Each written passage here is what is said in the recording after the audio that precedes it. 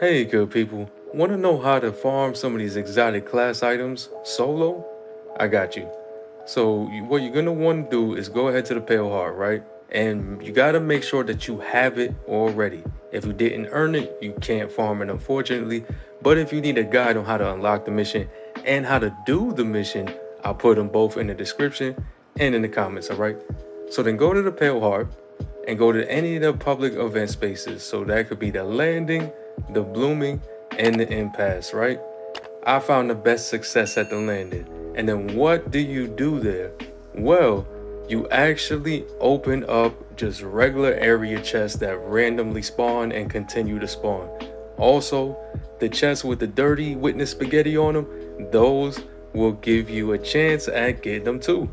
So you have a random chance to just open it up and boom, you got an exotic class item.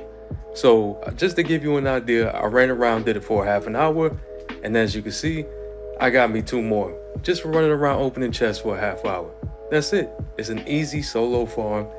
And then to make it easier on you, go ahead and throw on a Wombo detector tracking ghost mod. This gives you a nice little dot on your HUD to tell you if there's a chest within 50 meter range. So, what y'all waiting for? Alright y'all, if I helped you out with this one, please subscribe to the channel, hit the bell, and please drop a like, and of course a comment to help me with the algorithm. Any other tips out there to farm, let us know. I'm out.